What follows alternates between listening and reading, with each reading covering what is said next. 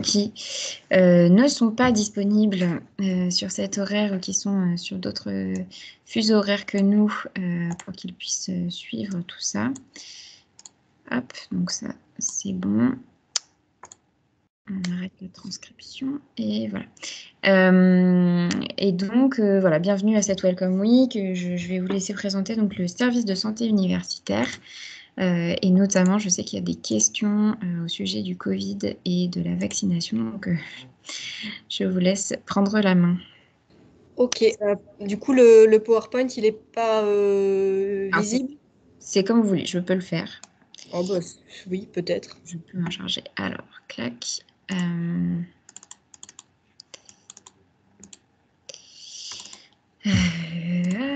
ma, collègue assistante sociale, elle intervient juste après, c'est ça? C'était juste avant. C'était juste, avant, c'est ça Oui, c'est bon, c'est fait. J'avais un doute.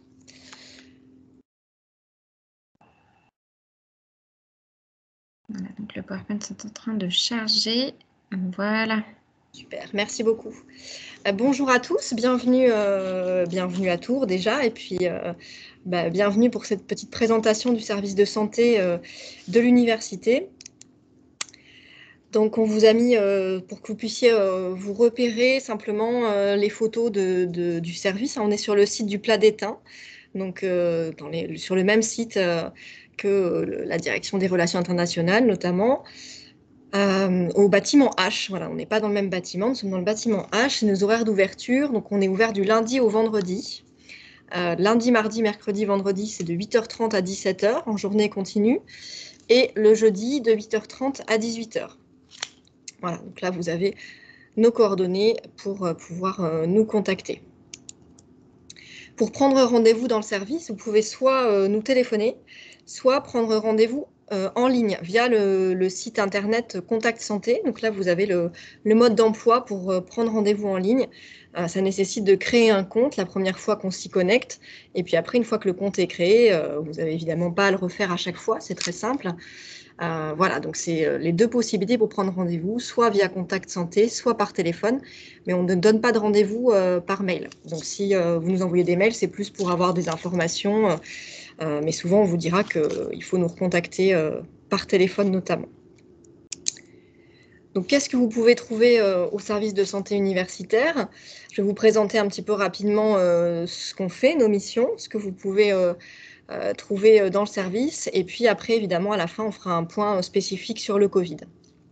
Donc, il y a des consultations de médecine générale, des consultations de gynécologie, des consultations de psychiatrie, des consultations et des soins infirmiers. Je vais donner quelques informations sur ces types de consultations-là, et puis après on parlera des autres types de consultations, puisque ces, quatre types de, consultations, euh, c'est des consultations pour lesquelles on va vous demander euh, votre carte vitale et votre carte de mutuelle si vous en avez une. pour ceux qui n'ont pas encore leur carte vitale, euh, ma collègue assistante sociale, Madame Audin, que vous avez entendu euh, tout à l'heure, a, a dû aborder cette question. Vous allez avoir un numéro provisoire hein, d'inscription à la sécurité sociale. Donc ça, ça, marche aussi parfaitement. Hein. C'est ou la carte vitale ou le numéro provisoire qui sera remplacé ensuite dans un deuxième temps par la carte vitale. Et donc, si vous n'avez pas encore de numéro de, Sécu, c'est la première démarche euh, à faire, hein, pour laquelle on peut, on peut vous accompagner évidemment si besoin. C'est de vous, voilà, de vous adresser euh, à la, CPM pour la création de ce numéro. Et puis la carte de mutuelle, donc la mutuelle, elle a dû aussi vous en parler sûrement, euh, Madame Audin. Euh, ça, permet de ne pas avoir euh, du tout à avancer de frais pour toutes vos consultations ou vos soins médicaux, vos achats de médicaments dans les pharmacies, les prescriptions d'examens dans les laboratoires si on a besoin, etc. Donc, pour ceux qui n'auraient pas de mutuelle ou qui ne sauraient pas trop à quoi ça correspond, de la même manière, on peut vous renseigner évidemment le service social, donc Madame Audin et sa collègue Madame Dia peuvent vous donner toutes les infos et vous aider à, en bénéficier si vous le souhaitez. Donc pour la médecine générale, juste un petit point. Euh, donc euh, voilà, la médecine générale, on en a besoin quand on est malade, hein, a, quand on ne se sent pas bien. Donc soit on va pouvoir vous donner un rendez-vous dans le service, soit on va peut-être des fois euh, être un peu débordé, on n'aura pas assez de rendez-vous à vous proposer dans la semaine. Donc on peut aussi vous proposer de vous orienter vers les médecins qui sont sur ce qu'on appelle la liste RESUS. La liste RESUS, c'est une liste de médecins généralistes qui ont conventionné avec l'Université de Tours pour accueillir les étudiants. Euh, alors, pour les accueillir de manière euh, classique dans leur, euh, dans leur consultation, mais il y a un engagement qui est celui de ne pas de pratiquer le tiers payant sur la part sécurité sociale, justement. Donc, ça vous permet de ne pas avoir à, payer cette partie, la partie principale de la consultation. par contre, il n'y a pas de tiers payant sur la partie, sur la part mutuelle. Donc, si vous allez voir ces médecins-là, il y aura, si vous n'avez pas de que vous ayez ou non une mutuelle, de toute façon, il faudra avancer les 7,50 euros euh, voilà, avant d'être remboursé par votre mutuelle s'il y en a une. Ces médecins, ils sont répartis un petit peu partout euh, sur l'agglomération de Tours, ce qui est assez pratique puisque ça vous permet d'avoir le choix finalement entre venir au SSU, donc sur le site du Plat d'Étain, pour ceux à qui ça, ça, correspond le mieux. Et puis, vous avez du coup, grâce à cette liste, des médecins qui sont à proximité de vos lieux d'études ou de vos lieux d'habitation. Il y en a un peu partout, euh, à Tours-Nord, euh, à côté de l'IUT, euh, à Grandmont, à côté voilà, des, facultés de Grandmont, en centre-ville, il y en a un peu partout puisqu'on a une soixantaine à peu près. Donc cette liste, en fait, elle vous permet du coup de pouvoir avoir accès à un rendez-vous si le SSU n'est pas en mesure de vous en donner rapidement.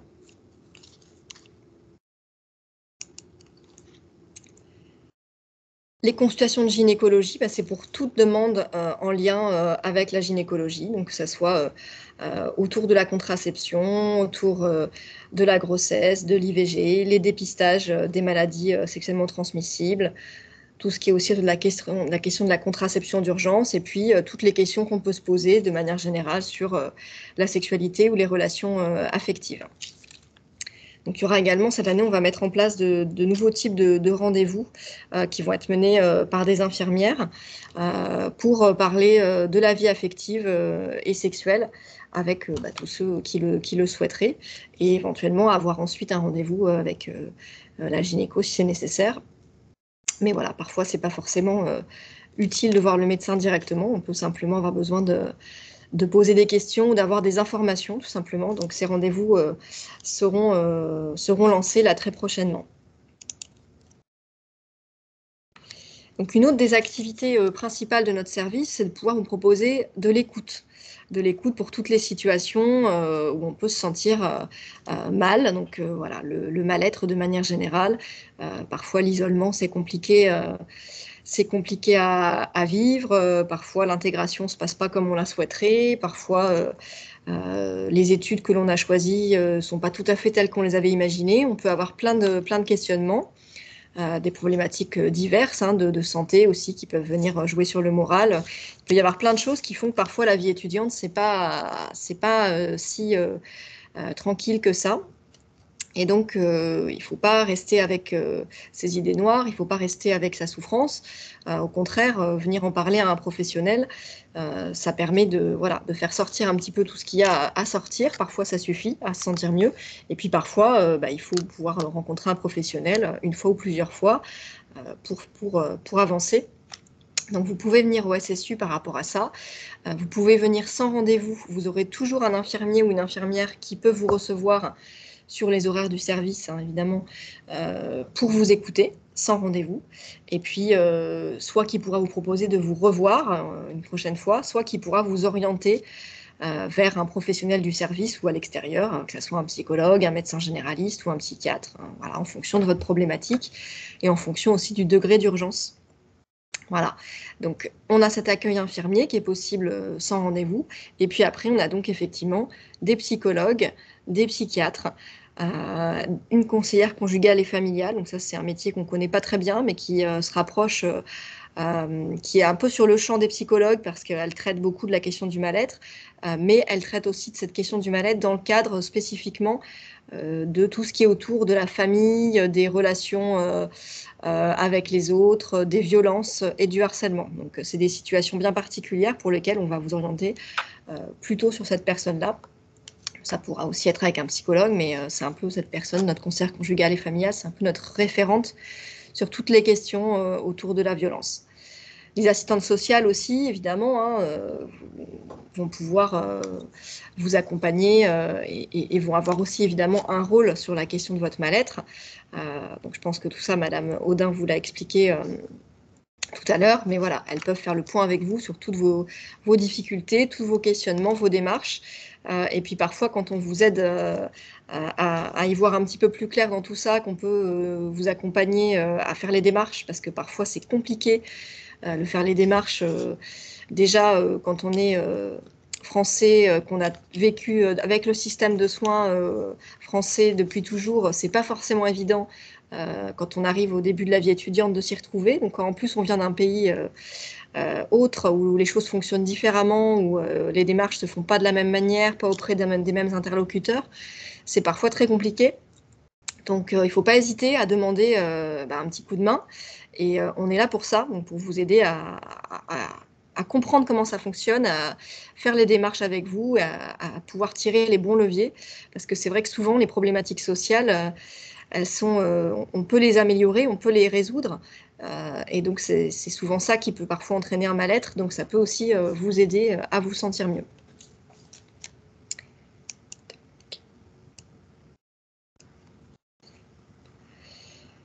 On a également une activité vraiment autour de la prévention, donc en dehors des, soins en tant que tels. vous, aurez accès à une prise de rendez-vous en ligne. On vous invitera à vous inviter, on vous invitera, pardon, à vous inscrire à des rendez-vous qui s'appellent des examens de santé euh, et qui sont euh, des, bilans, en fait, un bilan euh, assez global où on va faire le point avec vous sur tout ce qui va ou ce qui ne va pas au niveau de votre santé et au niveau de tout ce qui peut conditionner votre santé. Donc, on va faire le point sur vos conditions de logement, sur vos relations euh, avec euh, les autres étudiants, sur euh, votre réseau amical, vos relations avec votre famille, votre état de santé, évidemment, vos, habitudes, vos pratiques. Est-ce que vous consommez des substances? Est-ce que vous faites du sport? Est-ce que, Où est-ce que vous vivez? Voilà. Comment tout ça peut agir sur votre santé, qu'elle soit physique ou morale? On va faire le point aussi sur vos vaccinations. Euh, et puis par rapport à certaines, euh, certaines euh, pathologies qui peuvent être en lien avec des origines géographiques bien particulières, on va pouvoir vous proposer aussi des dépistages particuliers, notamment celui de la tuberculose ou des dépistages voilà, de différents types de, de, problématiques. Donc tout ça, vous aurez plus d'informations, on va vous proposer des, des rendez-vous dans le service et puis on va essayer aussi cette année, si le Covid nous le permet, de vous proposer des rendez-vous pour faire ces bilans-là euh, dans vos sites d'études. On va voir euh, ce qui est, faisable euh, en fonction des conditions sanitaires. On peut également, dans le service, en dehors de ces rendez-vous spécifiques où on fait vraiment un tour très global, on peut vous pouvez aussi venir dans le service pour mettre à jour vos vaccins. Donc, on, s'occupe de tous les vaccins en dehors des vaccins des voyages. Les vaccins des voyages, ils peuvent se faire uniquement euh, au CHU, dans le centre de vaccination des voyageurs. Nous, on va s'occuper des vaccins euh, standards euh, pour la vie de tous les jours, donc ceux qui sont listés ici. et donc, on vous fournit les vaccins gratuitement et on peut vous vacciner dans la foulée. Donc pour ça, évidemment, il faut qu'on puisse savoir où vous en êtes. Donc il nous faut un carnet de santé ou un carnet de vaccination. Euh, et puis évidemment, si vous n'avez aucune preuve de vos vaccinations antérieures, ce qui peut parfois arriver, euh, on a des, voilà, des protocoles pour remettre à jour les choses. Mais si vous avez des, éléments, c'est important de venir avec. Comme ça, on sait de quoi on, part et on ne vous refait pas des, injections pour rien. On peut aussi vous aider euh, dans l'arrêt du tabac, si c'est quelque chose qui vous intéresse et vous pose problème. Euh, et puis, euh, on peut aussi euh, vous, donner, en cas de besoin, des certificats de non-contre-indication à la pratique du sport. Donc ça, c'est vrai qu'en septembre, c'est une, grosse demande dans le service, ainsi qu'en médecine générale de manière générale. Donc, n'hésitez pas à nous solliciter par rapport à ça. Et on a aussi la possibilité de faire des certificats en lien avec votre vie universitaire, c'est-à-dire notamment en lien avec des demandes du CRUS par exemple des étudiants qui, auraient, qui pourraient être amenés à, redoubler, à ne pas valider leur année parce qu'ils ont une problématique de santé qui les a empêchés d'être assidus ou qui les a euh, éloignés euh, des bancs de la fac pendant euh, plusieurs semaines ou plusieurs mois.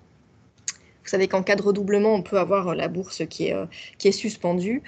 donc, s'il y a une raison médicale à cet échec universitaire, on peut vous, procurer un certificat qui vous permet de continuer à bénéficier de la bourse malgré le redoublement.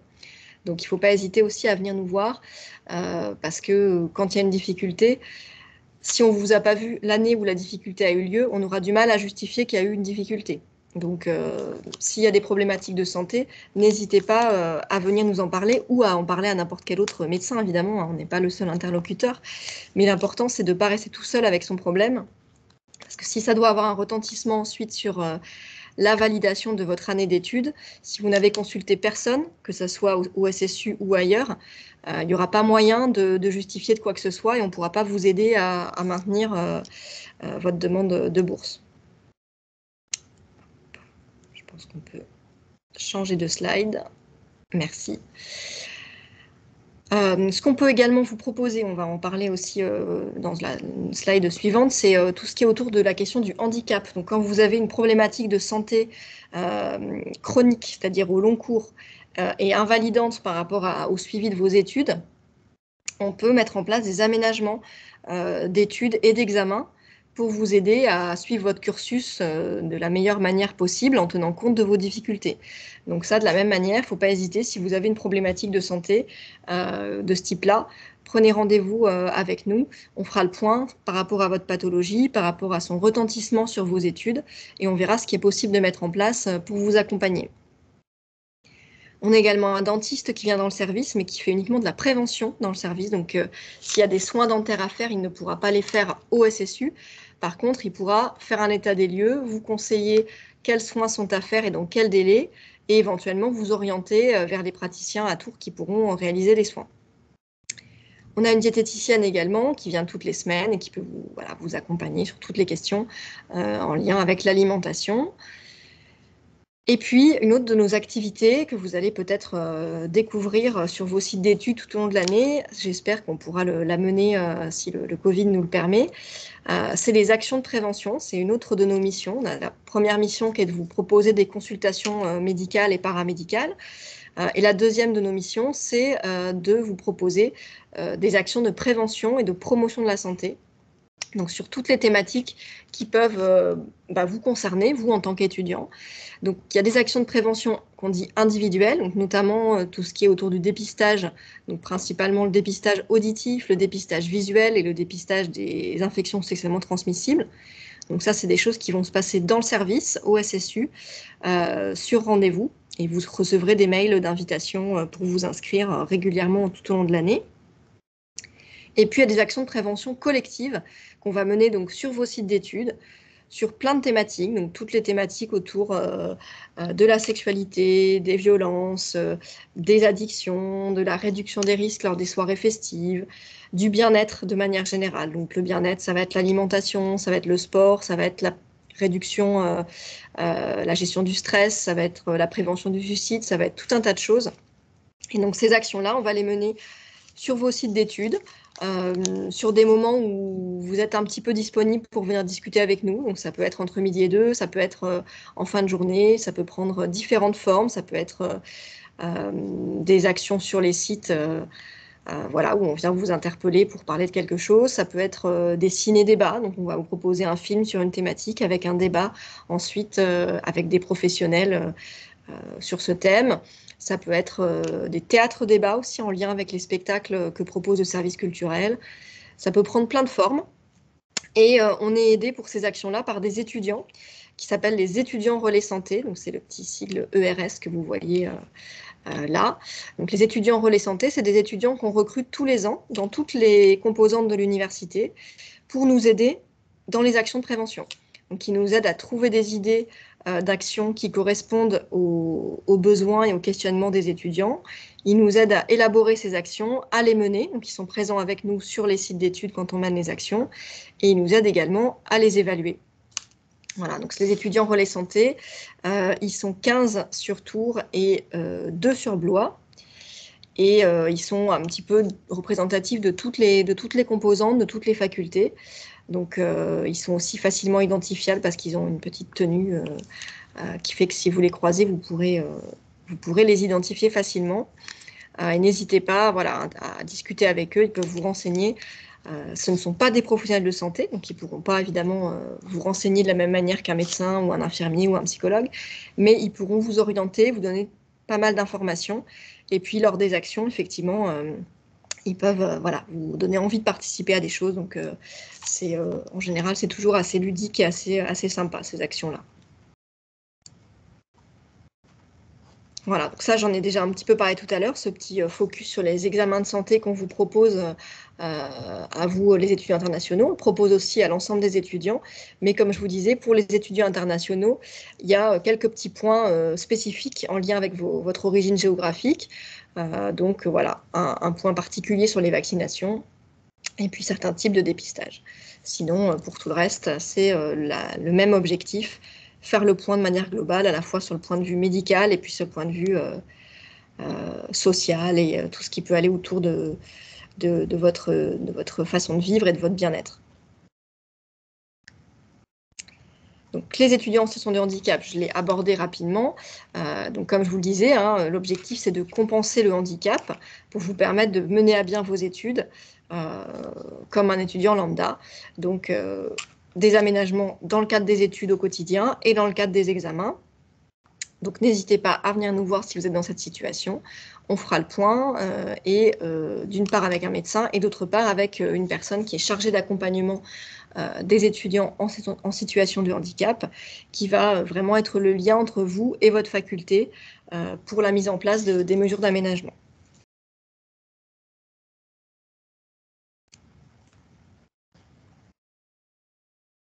Peut-être déjà, est-ce que vous avez des questions par rapport, avant qu'on passe au point Covid, est-ce que vous avez des questions sur euh, tout ce que j'ai pu vous dire euh, jusque-là? C'était un peu, un peu dense peut-être, puis vous n'avez peut-être pas forcément de questions qui vous viennent tout de suite, mais si vous en avez, n'hésitez pas.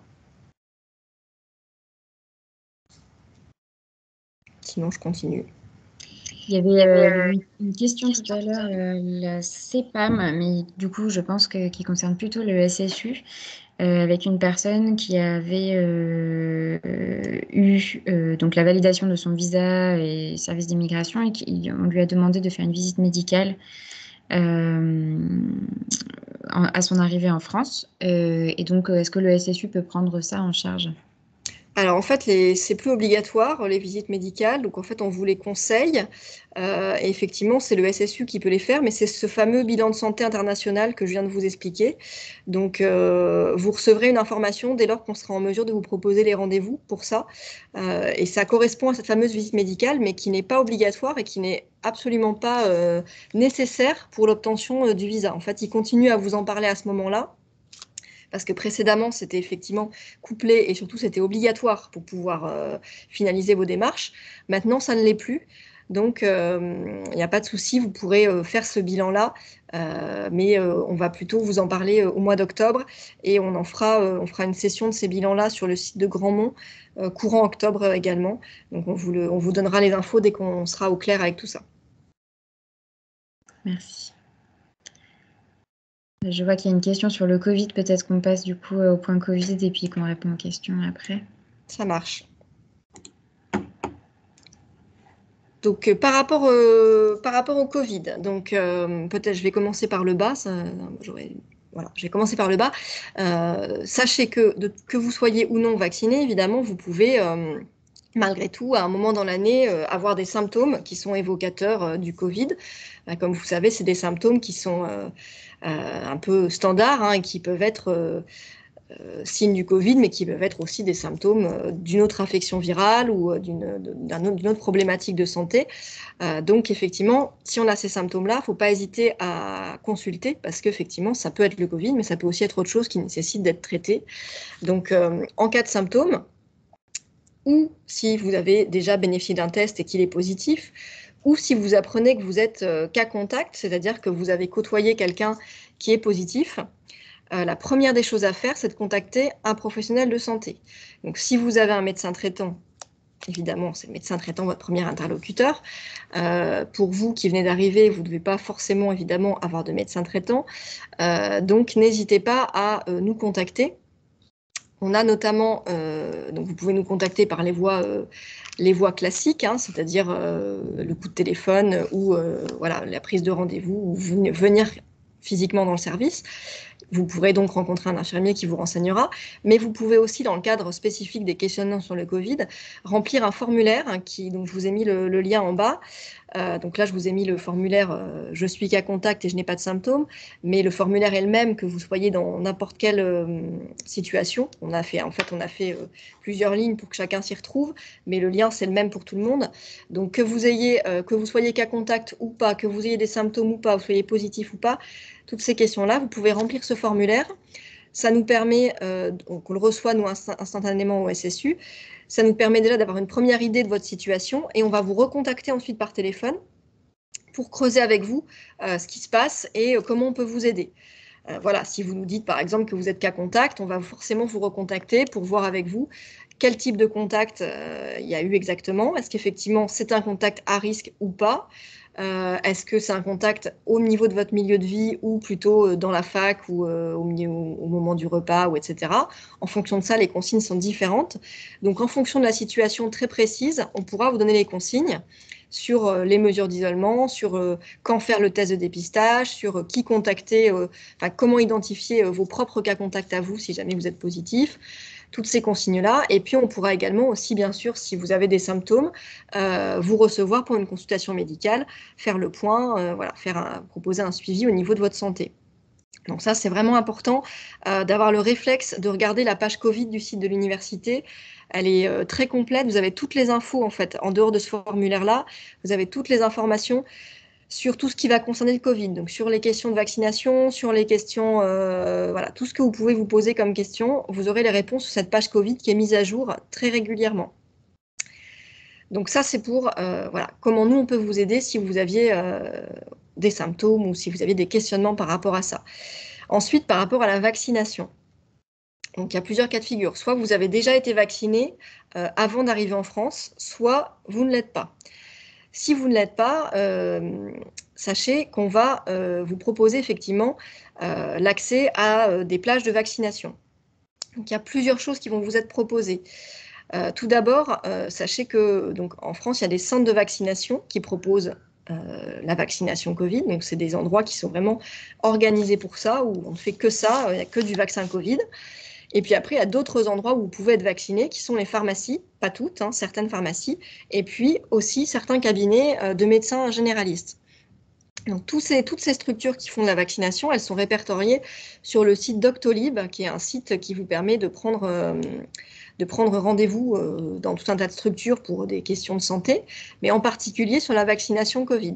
Donc vous allez sur Doctolib et vous aurez toutes les structures où il y a de la place et vous pourrez prendre rendez-vous très facilement dans les structures où il y a de la place, sachant qu'en ce moment, euh, j'ai encore fait le point ce matin avec les centres de vaccination, c'est vide. Donc il y a de la place autant qu'on veut dans les centres de vaccination actuellement. Donc c'est très facile d'avoir rendez-vous très rapidement.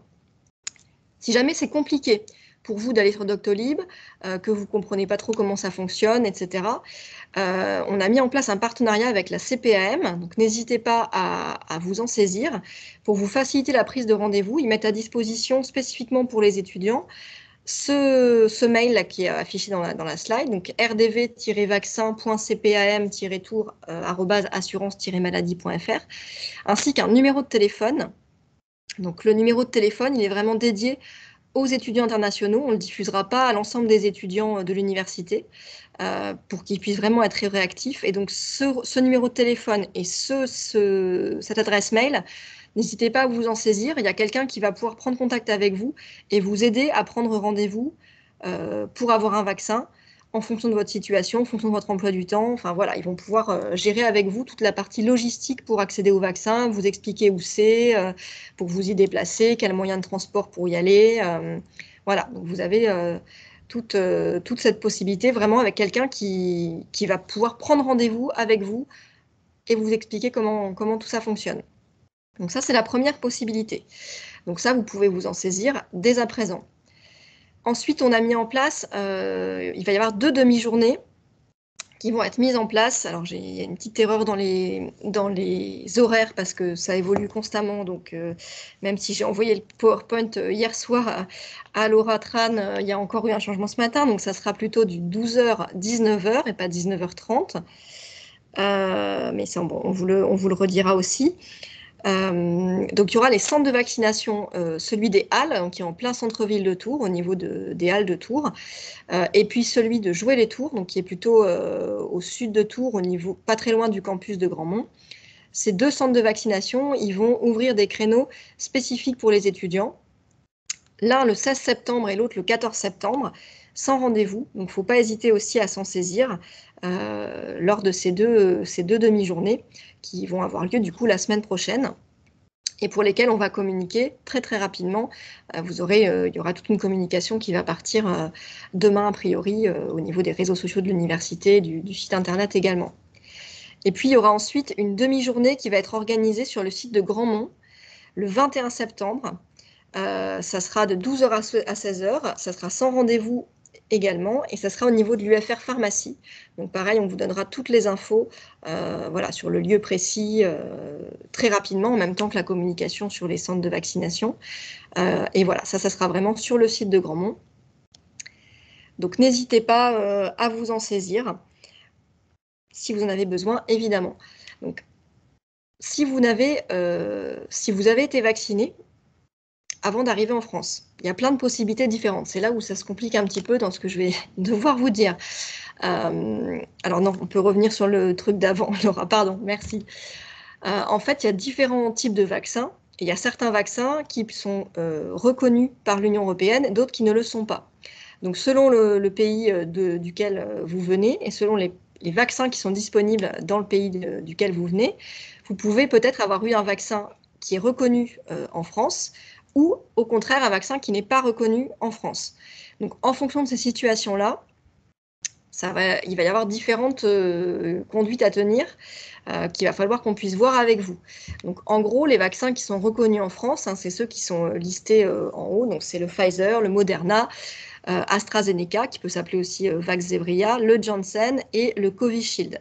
Donc ces vaccins-là, si vous les avez eus dans votre pays, ils sont valides euh, en France et donc votre certificat vaccinal peut être converti très simplement en passe sanitaire français euh, via une démarche qui se fait exclusivement en ligne, donc sur le site diplomatie.gouv.fr. Euh, donc ça, ça vous permet d'avoir le passe sanitaire avec le QR code, tout ce qui vous permettra ensuite en France d'avoir accès aux lieux publics qui vous demandent de présenter un passe sanitaire. Donc là, c'est évidemment la situation la plus simple. Si vous n'avez pas eu ces vaccins-là, là, donc là, il y a deux cas, de, cas de figure différents. Soit vous avez eu un vaccin qui est reconnu par l'OMS, l'Organisation mondiale de la santé, mais qui n'est pas reconnu par l'Union européenne. Donc là, des vaccins comme ça, il n'y en a que deux. C'est le Sinovac et le Sinopharm. Ces vaccins-là, euh, c'est encore un petit peu flou dans la conduite à tenir. Ce qui est sûr, c'est que si vous n'en avez eu qu'une dose avant de partir, on vous fera une deuxième dose en France d'un vaccin reconnu par l'UE et ça vous donnera accès au pass sanitaire. Si par contre vous avez déjà reçu vos deux doses de ces vaccins-là dans votre pays, là pour l'instant les consignes elles sont un petit peu contradictoires. Donc, euh, c'est pour ça que je ne vous les ai pas écrites sur, la slide, parce qu'on n'a pas d'informations claires et précises de la part du ministère. Donc, ça devrait arriver dans les jours à venir, mais pour l'instant, on ne peut pas trop vous dire ce qu'il en est. En gros, euh, voilà, il faut attendre encore un petit peu pour cette situation-là. Si vous avez été vacciné par un vaccin qui n'est ni ceux qui sont reconnus en France, ni le Sinovac, ni le Sinopharm, de toute façon, pour cela, vous aurez besoin de refaire un schéma vaccinal euh, complet. Donc, on vous refera deux doses avec un vaccin reconnu par l'UE et donc vous aurez accès à un pass sanitaire euh, ensuite. Je ne sais pas si c'est très clair pour vous. Est-ce qu'il y a des questions par rapport à cette histoire de vaccin?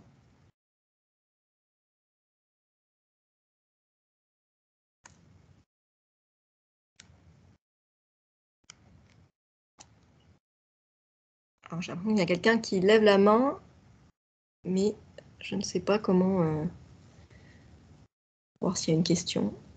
Je, vous invite, euh, je vous invite à écrire directement dans le chat s'il y a des questions, euh, parce que si on commence à ouvrir les, micros de tout le monde, ça risque de poser des problèmes techniques. Donc écrivez directement dans le chat si possible. Euh, Serena, pouvez-vous écrire le lien pour convertir le pass sanitaire? Oui, je vous l'envoie tout de suite. J'étais en train de, de l'écrire. Ah, n'importe. euh, hop, la procédure est là.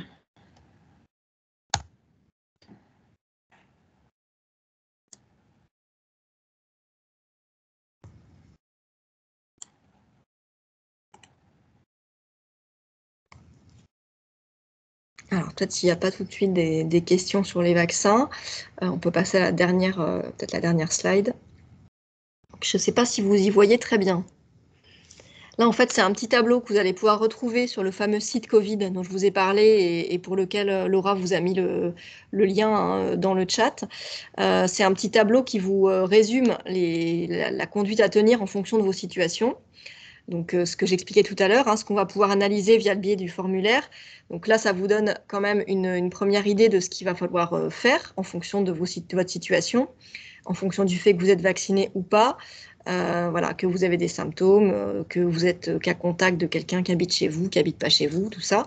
mais évidemment, le plus simple, c'est quand même de nous contacter et on pourra vous donner une réponse du coup vraiment adaptée à votre situation personnelle. Et puis, on pourra également en cas de besoin, euh, voir avec vous pour un relogement, euh, puisque effectivement, pour euh, ceux d'entre vous qui peuvent être logés soit au niveau du CRUS, dans des résidences universitaires ou dans des résidences étudiantes privées ou autres, en dehors du CRUS, parfois il y a des espaces collectifs au niveau des espaces de restauration ou au niveau, ou au niveau des, des, des sanitaires, pardon. Euh, et donc, si vous devez être isolé, si vous êtes euh, dans, un cas où euh, l'isolement est nécessaire, si vous vivez dans un endroit où il n'y a pas de sanitaire ou d'endroit ou, de cuisine individuelle que pour vous, ça ne fonctionne pas. Si vous devez partager vos espaces avec d'autres étudiants alors que vous devez être isolé, ça ne marche pas. Donc dans ces cas-là, on, on, pourra vous reloger. Donc on verra avec le CRUS et avec la Croix-Rouge, il y a différentes solutions. Il y a des hôtels aussi qui peuvent être mis à disposition. Euh, voilà, pendant la durée nécessaire, euh, de votre isolement. Euh, voilà. Donc c'est pour ça que le plus simple, c'est de prendre contact avec nous et on, voit ensemble ce qu'il en est. Alors, je crois qu'il y a une. Alors, j'ai une question qui s'affiche sur mon écran, mais pas sur le chat sur un côté. Bon, bref. je me suis vaccinée au Cameroun avec le Janssen, une seule dose mais sur le site de diplomatie.gouv, il n'y a pas le Cameroun parmi les pays hors Union européenne. J'ai entamé cette procédure depuis déjà deux semaines, mais toujours rien. Comment faire? Euh, En fait, euh, normalement, le site de diplomatie.gouv, il vous cite les vaccins qui sont, euh, qui, sont valides ils s'en fichent un petit peu des pays finalement. Donc, euh, si vous avez eu euh, le Johnson, normalement, le Johnson, il n'y a pas de souci, il vous donne accès au, au pass sanitaire. normalement, vous devriez pouvoir. Euh, la démarche devrait aboutir, hein, normalement, il n'y a pas de souci. Quand vous dites cette procédure, j'ai entamé cette procédure depuis déjà deux semaines, qu'est-ce que ça veut dire cette procédure? Parce qu'il y a deux semaines, la démarche simplifiée pour euh, modifier le pass sanitaire n'existait pas. Du coup, je. Oui, c'est pas faux, effectivement. Je suis pas sûre de comprendre.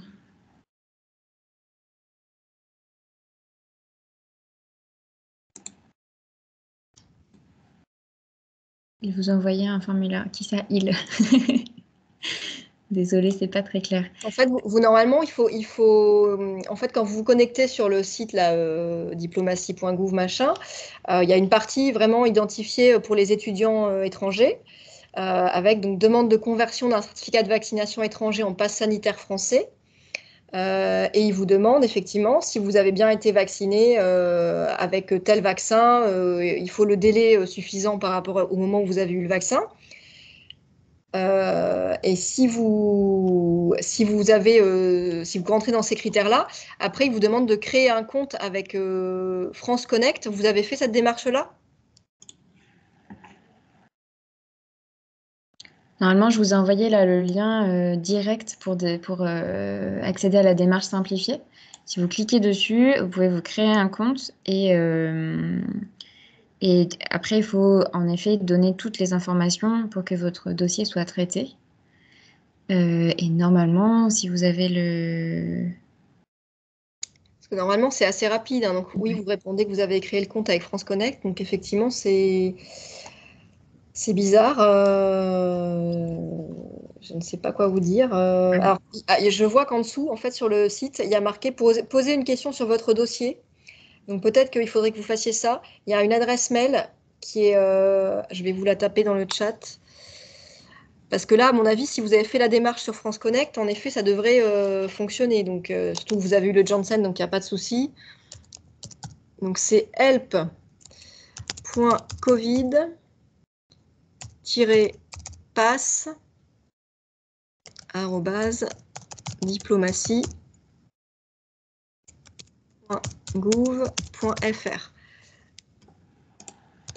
Vous pouvez leur envoyer un mail, je pense, à, ce, à cette adresse mail-là, en leur expliquant ce que vous venez de nous dire, hein, que vous avez eu le Johnson euh, à telle date, euh, puisqu'il faut bien que vous ayez quatre semaines entre le moment où vous l'avez eu et le moment où vous faites la demande.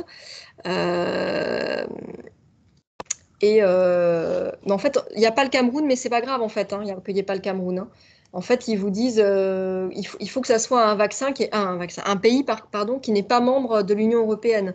Donc, euh, même si c'est le Cameroun ou si c'est autre chose, c'est pas très grave. Donc, posez-leur la question sur euh, le, mail Help Covid, parce que normalement, ça devrait fonctionner sans souci. Donc, il y a peut-être un. Je ne sais pas ce qui, manque ou, si c'est un délai. voilà, mais je pense qu'ils pourront, ils pourront vous renseigner.